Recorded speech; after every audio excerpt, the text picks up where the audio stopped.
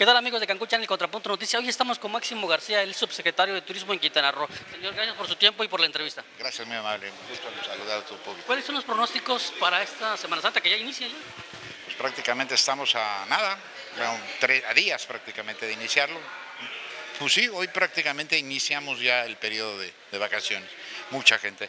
Pero bien, eh, realmente, ¿qué, ¿qué, pienso? Que viene una Semana Santa y una Semana de Pascua bastante importante para el Caribe mexicano en donde estaremos hablando de una ocupación alrededor de entre el 84 y 86%, en ciertas cadenas hoteleras hasta el 100% de ocupación, y con una derrama importante económicamente hablando, creo que es una vez más con este tipo de, vamos a llamarle de ocupaciones, refrendamos lo que es la preferencia del turismo nacional, sobre todo en esta época, en Quintana Roo.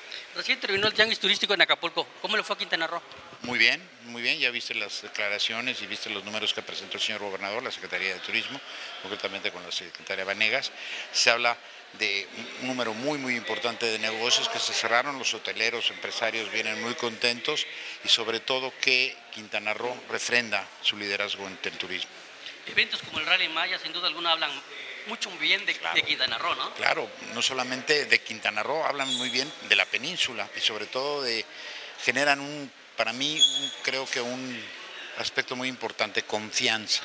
Es decir, recorrer prácticamente toda la península de Yucatán en coche, sin ningún tema que lamentar, habla de un saldo blanco y eso habla de que el turismo aquí en la península, en Quintana Roo, goza de seguridad.